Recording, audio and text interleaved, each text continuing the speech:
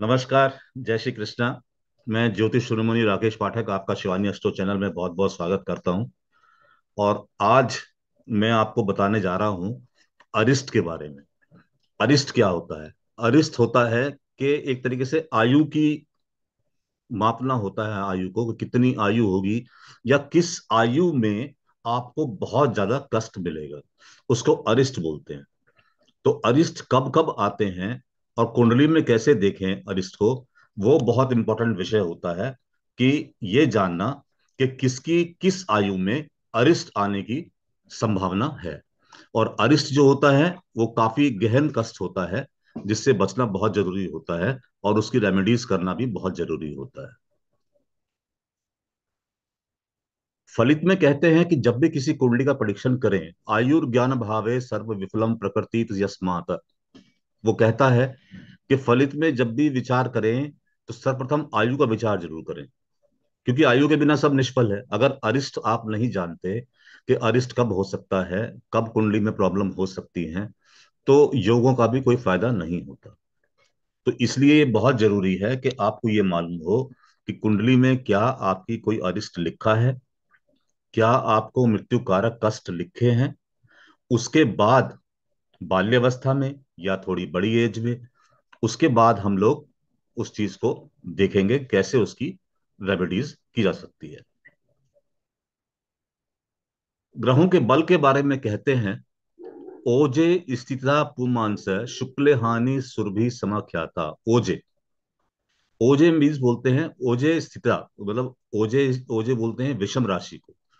विषम राशि में ग्रह अगर हों, पुरुष ग्रह अगर हों विषम राशि में पुमांसा पुरुष ग्रह अगर हो और शुक्ल पक्ष हो तो ग्रह मज़बूत होते हैं। शुक्ल पक्ष में या विषम राशि में पुरुष ग्रह जो होते हैं, वो बलवान होते हैं। इसी प्रकार कृष्ण पक्ष में और सम राशि में स्त्री ग्रह बलवान होते हैं। और बलवान ग्रह अगर आपकी कुंडली में है तो वो अरिष्ट का भंग करते हैं। अरिष्ट मीन्स जो भी आपके ऊपर मृत्यु कारक कष्ट आने वाला है, उसको भंग कर देते हैं। तो ये भी देखना ज़रूरी है कि क्या आपका जन्म शुक्ल पक्ष में हुआ है और आपके ज़्यादातर ग्रह विषम राशियों में है। पुरुष ग्रह पुरुष ग्रह कौन कौन से होते हैं आप सब जानते ही होंगे। सूर्य है, मंगल है, गुरु है, ये सब पुरुष ग्रह है। शनि और बुध नपुंसक ग्रह है। चंद्रमा, शुक्र, ये स्त्री ग्रह है, ये हम जानते ही हैं। तो जो पुरुष ग्रह है अगर वो आपके विषम राशि में है और शुक्ल पक्ष का आपका जन्म है तो आपके ऐसे ग्रह मज़बूत होते हैं।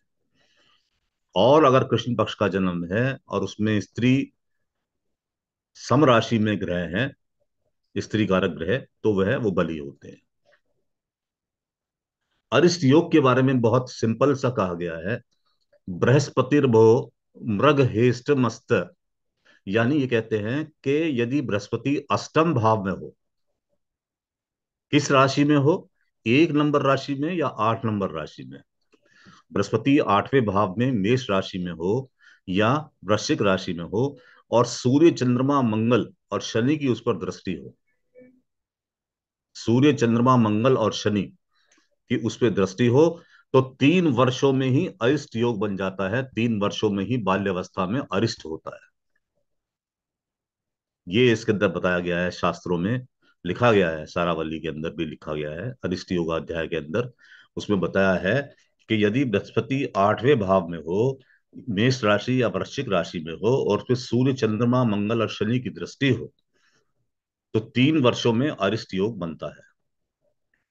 और साथ साथ अगर शुक्र की दृष्टि भी मिल जाए तो वो अरिष्ट योग थोड़ा टल जाता है वो तीन वर्षों के बाद बनता है। दूसरा दूसरा अरिष्ट योग क्या है? वक्री शनि भीम ग्रह प्रपन्न। ये क्या बोलते हैं? ये कहते हैं वक्री शनि। यदि मंगल की राशियों में हो, मंगल की राशि कौन कौन सी होती है? मेष राशि, वृश्चिक राशि। तो वक्री ग्रह शनि या यूँ मानिए कि शनि मंगल की राशियों में हो और वक्री हो जाए और चंद्रमा केंद्र में हो या छठे आठवें भाव में हो और शनि पर मंगल की दृष्टि हो तो बालक दो वृक्ष के भीतर ही अरिष्ट को प्राप्त करता है। ये कुंडली के अंदर देखने लायक चीज़ है बहुत ज़्यादा। अरिष्ट पहले जमाने में तो अरिष्ट का मतलब हुआ करता था कि एक तरीके से मृत्यु को प्राप्त होता है बोलते थे, लेकिन अब मेडिकल साइंस इतनी तरक्की कर चुकी है, इतना सब कुछ हो चुका है तो अब वो चीज़ तो नहीं होती। लेकिन अरिष्ट का मतलब आप समझ सकते हैं कि बहुत कष्ट को प्राप्त होता है, मृत्यु कारक कष्ट को प्राप्त होता है। तो शनि यदि मंगल की राशियों में हो, शनि यदि मेष राशि में हो या वृश्चिक राशि में हो और वक्री हो, तथा चंद्रमा छह, आठ या केंद्र में हो और शनि पर बलवान मंगल ग्रह की दृष्टि हो तो बालक दो वर्ष के भीतर अरिष्ट को प्राप्त करता है। फिर दूसरा कहते हैं, भास्कर हिमकर सहित शनिश्चर मृत्यु प्रदय प्रसव काले। ये क्या बोलते हैं? ये कहते हैं, सूर्य व चंद्रमा से युक्त अगर शनि हो अगर सूर्य और चंद्रमा आपकी कुंडली में, किसी कुंडली में सूर्य चंद्रमा के साथ शनि बैठा हुआ है तो नौ वर्षों के भीतर अरिष्ट होता है। ऐसा किसने कहा है? ऐसा एक ब्रह्म शौंड नामक आचार्य हैं, उन्होंने बोला है।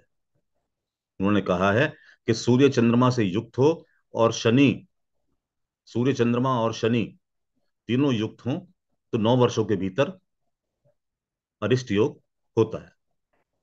मंगल, सूर्य व शनि यदि दूसरी सातवीं राशियों में आठवें भाव में हो। मंगल, सूर्य व शनि। ये ध्यान देना है कि मंगल, सूर्य और शनि, ये तीनों ग्रह यदि दूसरी और सातवीं राशियों में, यानी शुक्र की राशियों में, दो नंबर राशि में, सात नंबर राशि में अष्टम भाव में हो तो यमराज भी कितनी रक्षा कर ले, बालक अरिष्ट को प्राप्त होता ही है। तो ये अरिष्ट योग बताए गए हैं। ये कुंडली में देखना बहुत ज़रूरी है। आप सब योगों के पहले कि राजयोग है ये योग है कोई और योग बता रहे हैं आप तो उससे पहले एक बार अरिष्ट योग भी ज़रूर देख लीजिए कि कहीं ऐसा तो नहीं कि बहुत कष्ट आने वाला है जातक पे या मृत्यु कारक कष्ट आने वाला है जातक पे। दूसरा बोलते हैं बहुत आ, सिंपल है ये भी हमारे उसके अंदर बताया गया है शास्त्रों में कि अगर आठवें स्थान में दूसरी और सातवीं राशि हो आठवें स्थान में दो नंबर राशि हो, दो नंबर राशि मतलब वृषभ राशि हो, सात नंबर राशि हो, तुला राशि हो, आठवें स्थान में। और उसमें एक भी पाप ग्रह हो तथा उस पर पाप ग्रह की दृष्टि हो। अब ये क्या बोल रहे हैं? ये बोल रहे हैं कि अगर आठवें भाव में, कुंडली के आठवें भाव में दूसरे या सात नंबर की राशि है, दो नंबर की या सात नंबर की राशि है शुक्र की राशि है, वृषभ राशि है या तुला राशि है, और वहाँ पे पाप ग्रह बैठा हुआ है। पाप ग्रह कौन कौन से होते हैं? सूर्य, मंगल, शनि, ये सब पाप ग्रह होते हैं, राहु, केतु। ये सब क्रूर ग्रह कहलाते हैं, पाप ग्रह कहलाते हैं। तो उन राशियों में पाप ग्रह बैठा हो और किसी भी एक पाप ग्रह की दृष्टि हो तो चाहे अमृत ही क्यों ना पिया हो, अरिष्ट होके ही रहता है। तो अरिष्ट जो योग है, ये बहुत वैसा योग है जिसको ध्यान देना कुंडली के अंदर बहुत ज़रूरी है। लगन से छठे आठवें भाव में कर्क राशि में बुद्ध हो, यानी कुंडली के छठे भाव में, आठवें भाव में कर्क राशि में बुद्ध हो, किसी एक में, छठे में, आठवें में, और उस पर चंद्रमा की दृष्टि हो तो चार वर्षों के भीतर प्रबल अरिष्ट होता है। तो ये अरिष्ट के फल हैं जो बहुत इंपॉर्टेंट हैं, जिनको जानना बहुत ज़रूरी है। एक कहते हैं कि जिस नक्षत्र में धूमकेतु का उदय हो, धूम केतु क्या होता है? धूमकेतु गैस, मिट्टी, धूल, बर्फ़, इसका एक पुच्छल तारा होता है जो इससे मिलकर बनता है, जो सूर्य के चारों ओर बाकी ग्रहों की तरह चक्कर लगाता है। तो जिस नक्षत्र में धूमकेतु का उदय हो, उसी नक्षत्र में अगर किसी का जन्म हो, जिस नक्षत्र में धूमकेतु का उदय हुआ है। अगर उसी नक्षत्र में किसी का जन्म होता है तो दो महीने के अंदर अरिष्ट होता है। दो मास में अरिष्ट होता है। उसी नक्षत्र में किसी का जन्म होता है। उस नक्षत्र में किसी का जन्म का मतलब क्या? कि जिस समय जालक, जातक पैदा हुआ, चंद्रमा किस नक्षत्र में था? तो वो जातक का जन्म नक्षत्र कहलाता है। तो जिस नक्षत्र में धूमकेतु का उदय हो और उसी नक्षत्र में किसी का जन्म हो तो दो मासों के भीतर अरिष्ट होता है। एक, आठ, दस, ग्यारह राशियों का सूर्य, यानी मेष राशि, वृश्चिक राशि, मकर राशि, कुंभ राशियों का सूर्य दशम स्थान में हो। इनमें से किसी एक राशि में सूर्य हो और दसवें स्थान में हो और पापी ग्रह उसे देखते हो। जो पापी ग्रह मैंने आपको बताया अभी तो निसंदेह तुरंत अरिष्ट करते हैं।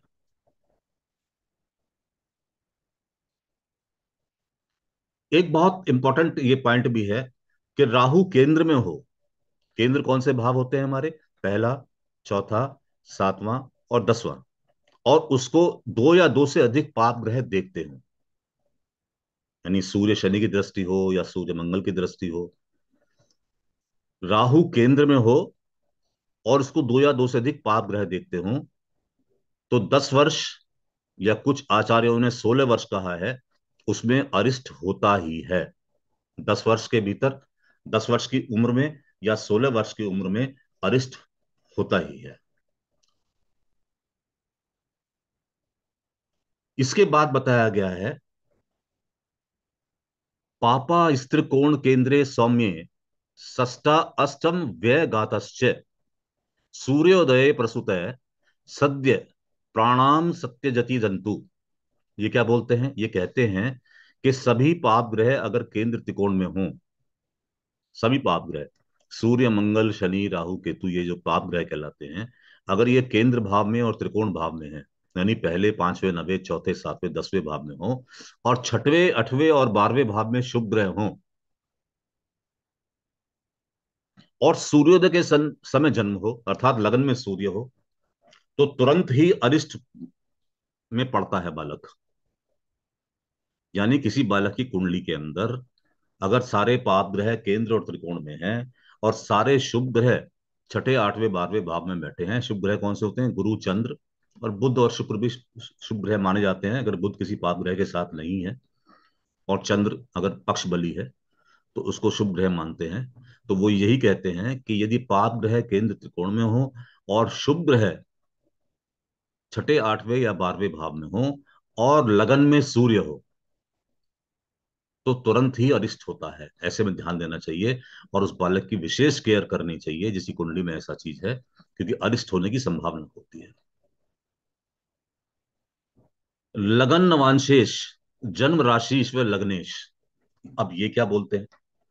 ये बोलते हैं, लगन का जो नवांश है डी नाइन चार्ट में, लगन आपका डी वन चार्ट में कोई लगन आता है, फिर आप डी नाइन चार्ट में चेक करते हैं कि क्या लगन आता है। तो उसका स्वामी। आपकी जन्म राशि जहाँ आपका चंद्रमा है, उसका स्वामी। और आपका लगन का स्वामी डी वन चार्ट के। अगर तीनों ही अस्त हो जाएँ तो कुछ ही वर्षों में बिना कारण ही अरिष्ट हो जाता है। तो ये ध्यान रखना भी बहुत ज़रूरी है कि लगन का नवांशेष, जन्म राशि का स्वामी और लग्नेश, ये तीनों सूर्य के साथ ना हो, क्योंकि सूर्य ही अस्त करता है। अगर सूर्य से अस्त हो गए तो बिना कारण ही अरिष्ट हो जाता है कुंडली के अंदर। मृत्यु कारक कष्ट हो जाता है, मृत्यु तक हो सकती है। लग्नेश यदि छठे भाव में हो, लग्नेश यदि छठे भाव में हो तो जिस राशि में हो, उतने ही वर्षों में द्रेश कौनेश हो तो राशि के बराबर मासों में नवान शेष हो तो राशि तुल्य दिनों में अरिष्ट करता है। आप इतना मोटा मोटा आइडिया लगाइए कि लग्नेश यदि छठे भाव में चला गया तो जिस राशि में गया? अगर वो छह नंबर राशि में है तो छह वर्षों में सात नंबर राशि है तो सात वर्षों में आठ नंबर राशि है तो आठ नंबर वर्षों में, आठ वर्षों में अरिष्ट होने की संभावना होती है। तो ये ध्यान देना होता है कि लग्नेश यदि किसी का छठे भाव में गया है तो चेक कीजिए किस राशि में गया है और उस राशि की संख्या के बराबर के वर्षों में अरिष्ट होने की संभावना होती है। लगन में अगर पाप दृष्ट शनि हो तो सोलह दिनों में, पाप युक्त हो तो एक महीने में। लगन में अगर शनि हो मतलब ये एक बहुत इंपॉर्टेंट पॉइंट है कि किसी के लगन में अगर शनि बैठा है, बहुत पुण्य में मिलता है, और पाप ग्रह से दृष्ट है तो सोलह दिन के अंदर। और पाप ग्रह से दृष्ट नहीं है, पाप ग्रह से युद्ध है तो एक महीने में अरिष्ट अवश्य होता है। तो ये ध्यान देना बहुत ज़रूरी है। ये सब शास्त्रों का मत है। सारा वाली में आप अरिष्ट अध्याय के अंदर इसको पढ़ सकते हैं, देख सकते हैं। इसके बाद अरिष्ट भंग भी आता है, ये योग भंग भी होते हैं तो वो कैसे होते हैं वो मैं आपको बताऊँगा अभी। वक्री ग्रह से अरिष्ट। वक्री ग्रह से अरिष्ट कैसे होता है? शुभ ग्रह यदि छह आठ भाव में हो, शुभ ग्रह यदि छह आठ भाव में चले गए, आपके शुभ ग्रह कौन से हैं? गुरु, शुक्र है। चंद्र पक्ष बली है और बुद्ध तो अगर सूर्य पाप ग्रह के साथ नहीं है तो शुभ ग्रह कहलाता है। तो शुभ ग्रह अगर छठे, आठवें, बारहवें भाव में है और वक्री पापी ग्रहों से द्रस्ट है, पापी ग्रह मीन सूर्य, मंगल, शनि, राहु, केतु, इनसे द्रस्ट है जो वक्री है। तथा शुभ दृष्टि नहीं है तो एक मास में ही अरिष्ट होता है। तो जातक के जीवन में पहले महीने के अंदर ही अरिष्ट होता है। तो ये कुंडली में ये पॉइंट्स देखने बहुत ज़रूरी है। क्योंकि आप अरिस्ट का आइडिया लगा लेंगे तो आप पहले से ही प्रिकॉशन लेके चलेंगे और प्रिवेंटिव मेजर ले सकेंगे। लगन से दूसरे बारहवें भाव में व छठे आठवें में पापी ग्रह दोनों और हों और शुभ ग्रहों से कोई योग, दृष्टि या संबंध न बन रहा हो तो छह मास में या आठ मास में बालक का अरिष्ट होता है, कष्ट होता है सब, बहुत ज़्यादा। ये भी ध्यान देने वाली बात है। चंद्रमा के साथ सूर्य व मंगल दूसरे और पाँचवें स्थानों में हो चंद्र कुजर वियुक्त स्व सुत स्थाने न चापी शुभ दृष्ट मरणम शिशो प्रयच्छति, वर्षे नवमे न संदेह ये क्या बोलते हैं? ये कहते हैं, चंद्रमा के साथ सूर्य हो, वह मंगल हो, और दूसरे या पाँचवें स्थान में हो, और शुभ ग्रह से दृष्ट ना हो तो नवे वर्ष में शिशु को अरिष्ट देते हैं। लग्नेश आठवें भाव में चला गया हो। आपकी कुंडली का लग्नेश आठवें भाव में गया हो और उसे सभी या कई पापी ग्रह बलवान होकर देखें तो चौथे मास में अरिष्ट होकर ही रहता है। यह मुनि का कथन है। चंद्रमा सिंह राशि में हो। चंद्रमा सिंह राशि में हो और जन्म राशि यानी सूर्य शनि के साथ अष्टम स्थान में हो और उसे शुक्र देखे तो राशि की संख्या के बराबर वर्षों में अरिष्ट होता है। राशि संख्या अगर पाँच राशि है, छह राशि है तो छह वर्षों में, पाँच राशि है तो पाँच वर्षों में अरिष्ट होता है। व्यस्टे ये बोलते हैं कि एक छ बारह और आठ भाव में चंद्रमा पाप ग्रहों से युक्त हो। पहले, छठे, आठवें और बारहवें भाव में चंद्रमा पाप ग्रहों से युक्त हो और शुभ ग्रह की दृष्टि ना हो। साथ ही केंद्र में कोई शुभ ग्रह ना हो तो शिशु शीघ्र ही अरिष्ट को प्राप्त हो जाता है। पहले छठे बारहवें और आठवें भाव में चंद्रमा पाप ग्रहों से युक्त हो, शुभ ग्रह की दृष्टि ना हो और केंद्र में कोई शुभ ग्रह ना हो तो शिशु शीघ्र ही अरिष्ट को प्राप्त होता है। तो ये थे कुछ अरिष्ट के योग। इसमें एक और भी बताया है। क्षीण चंद्रमा अगर लगन में हो चंद्रमा आपका लगन में है, लेकिन सूर्य आसपास है। दो या तीन घर आगे पीछे सूर्य है उसके। तो क्षीण चंद्रमा हो गया, कृष्ण पक्ष वाला चंद्रमा हो गया। क्षीण चंद्रमा अगर लगन में हो, पाप ग्रह केंद्र स्थान व अष्टम में हो, और जो पाप ग्रह हैं, सूर्य, मंगल, शनि, राहु, केतु, वो केंद्र में या अष्टम भाव में हो तो प्राय जीवन संचय बना रहता है। ऐसे यवनों के आचार्य का मत है। तो ये थे अरिष्ट के बारे में जो कुंडली में नॉर्मली हमें चेक करने चाहिए, किसी भी कुंडली में राजयोग या कोई भी योग देखते वक्त हमको अरिष्ट भी चेक करना चाहिए, ताकि हम पहले से पहले ही प्रिकॉशन ले चुके हैं और वो जो अरिष्ट का समय है, वो बिल्कुल आराम से कट जाए। तो आशा करता हूँ आपको ये चैप्टर समझ में आया होगा। समझ में आया तो काइंडली लाइक ज़रूर कीजिएगा सब्सक्राइब ज़रूर कीजिएगा शेयर कीजिएगा। और इसके अलावा हम लोग अभी advance astrology remedies profession matchmaking इनकी क्लास स्टार्ट करने जा रहे हैं। जो लोग जिस भी कोर्स में इच्छुक हो ज्वाइन कर सकते हैं। धन्यवाद। जय श्री कृष्ण।